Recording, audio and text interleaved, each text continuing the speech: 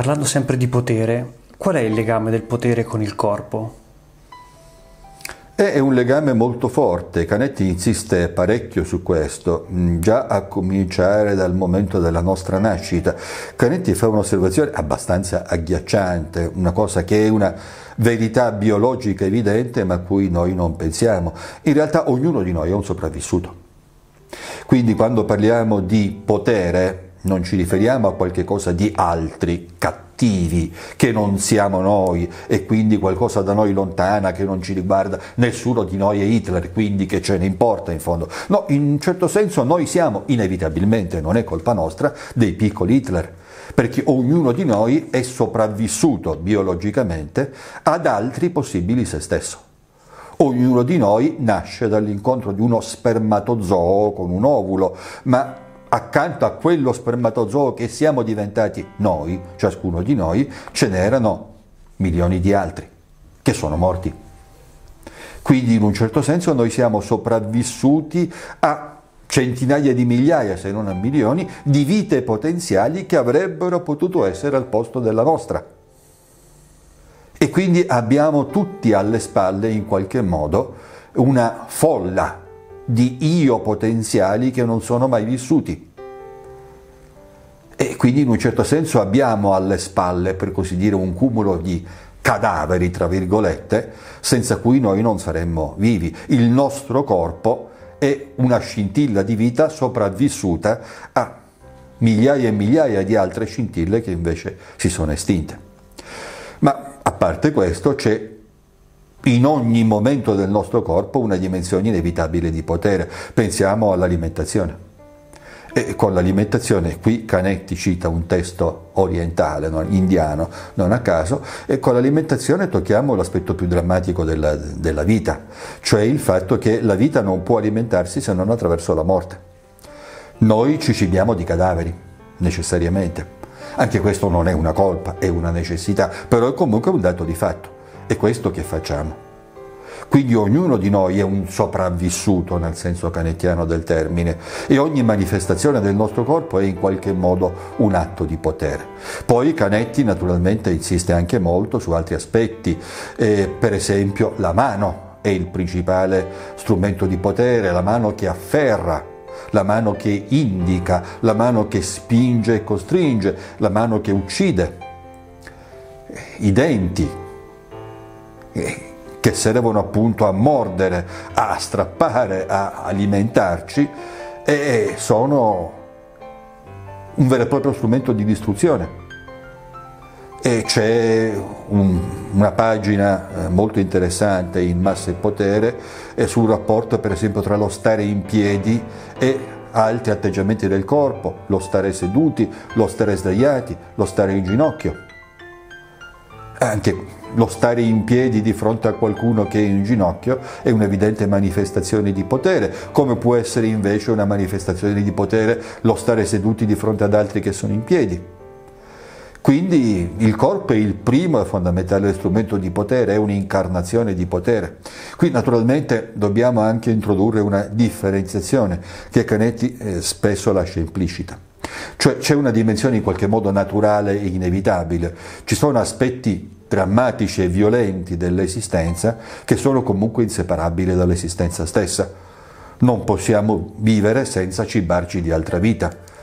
Questo è un aspetto drammatico, ma è un aspetto che è insito nella natura della vita stessa e evidentemente non possiamo prescinderne. Mentre ci sono altre manifestazioni del potere in cui invece possiamo introdurre una dimensione di resistenza, di contrasto, di disobbedienza, di rovesciamento. Quindi, per certi versi, il potere, come la morte, è un male, perché comunque Canetti lo considera un male, da cui non possiamo definitivamente liberarci, perché è talmente legato alla nostra esistenza che non possiamo eliminarlo senza eliminare la nostra esistenza.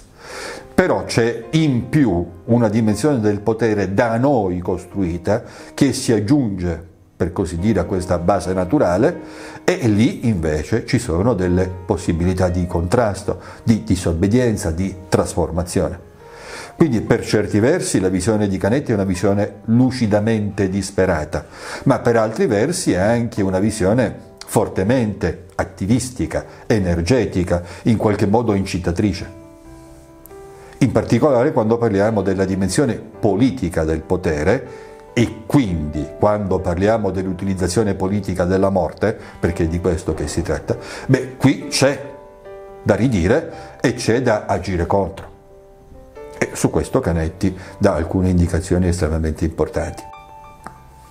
Cosa è la massa per Canetti e in cosa si differenzia la sua prospettiva da quella degli autori del suo tempo? Sì, questo è un aspetto di grande interesse perché Canetti si iscrive consapevolmente in una tradizione particolarmente forte tra fine Ottocento e primi del Novecento, quando si realizza un grande cambiamento politico in tutta Europa, cioè l'avvento delle masse sulla scena politica, la formazione dei grandi partiti di massa, le grandi rivoluzioni, in particolare la rivoluzione d'ottobre, e nuove forme di vita che portano a parlare di società di massa, per esempio. E questo determina una tradizione di studi che nel giro di pochi decenni diventa già molto forte e molto importante, a cui appartengono grandi personalità, da Gobineau a, a Freud, a Ortega y Gasset, per citare soltanto alcuni dei maggiori. Ora, in questa tradizione di pensiero, la cosa è molto evidente in Freud ma anche in Ortega, eh, la massa rappresenta una sorta di patologia del moderno, cioè una forma in qualche modo di degenerazione l'umanità ha raggiunto un certo livello, non di perfezione, ma comunque un livello elevato, più o meno da identificare con la visione illuminista o liberale del soggetto umano, e poi a un certo punto ci si ammala, a un certo punto nasce una patologia che è appunto il protagonismo delle masse, che vengono viste invece come una regressione, come un ritorno dell'umanità alla barbarie in sostanza, se non addirittura all'animalità. Quindi le masse rappresentano una sorta di imbarbarimento, una sorta di arcaismo, una sorta di imbestiamento dell'uomo. Rappresentano in un certo senso una sorta di um, ritorno indietro della modernità nel momento in cui essa ha raggiunto il suo culmine e quindi sono qualcosa da stigmatizzare, da combattere, perlomeno da denunciare. Per Canetti il discorso cambia completamente, c'è proprio un'impostazione diversa. Intanto eh, Canetti vede eh, la massa non come un fenomeno proprio della contemporaneità, non la fa derivare dalla rivoluzione industriale, non la fa derivare dai fenomeni di inurbamento, non la fa derivare dai grandi movimenti politici di massa, ma la considera come una dimensione universale, permanente, che non soltanto attraversa tutta la storia umana, ma addirittura radici preumane. Ci sono degli aspetti in cui l'impostazione canettiana anticipa, senza mai identificarsi con essa, l'impostazione sociobiologica. Cioè anche per Canetti c'è una forte continuità tra la dimensione biologica e la dimensione sociale e in particolare tra la socialità animale e la socialità umana. A differenza della, dell'impostazione sociobiologica però Canetti non è mai riduzionista.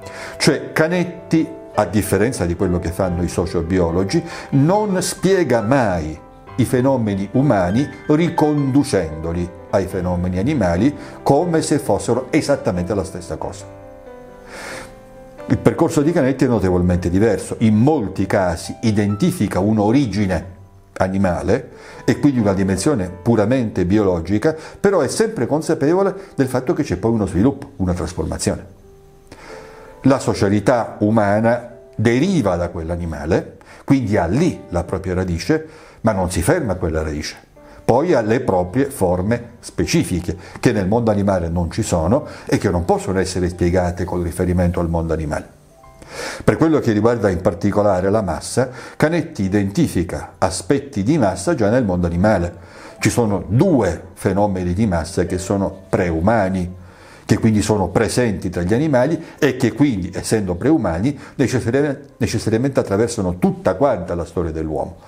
Dalle origini più remote fino ad oggi e sono la massa aizzata, come la chiama Canetti, cioè la massa che esercita la violenza collettiva nelle sue varie forme, il linciaggio, ma anche la pena di morte, ma anche l'espulsione l'esclusione del diverso, per esempio, e questo lo riconduce ai meccanismi originari di predazione del mondo animale e la massa in fuga, anche in questo caso ha basi appunto nel comportamento animale, la fuga in massa di fronte alla manifestazione di un pericolo è qualcosa che eh, già gli animali naturalmente conoscono. Pensiamo alla fuga di un branco di fronte a un predatore o alla fuga di tutti gli animali, per esempio di fronte a un incendio della foresta. Questo fenomeno però anch'esso nel mondo umano subisce le sue trasformazioni e poi nel mondo umano nascono forme di massa nuove che non esistono a livello puramente biologico, ma sono costruzioni culturali che implicano una socialità una socialità di tipo umano e quindi una dimensione culturale. E possono essere sia forme violente, come la massa del rovesciamento, sia forme al contrario non violente, come per esempio la massa in festa.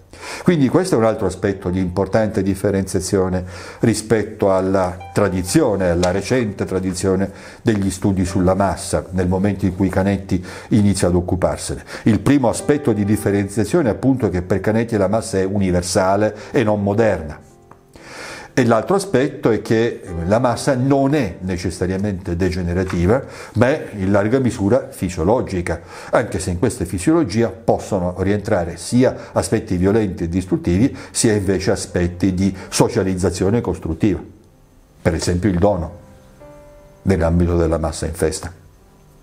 Quindi, insomma, Canetti non è manicheo.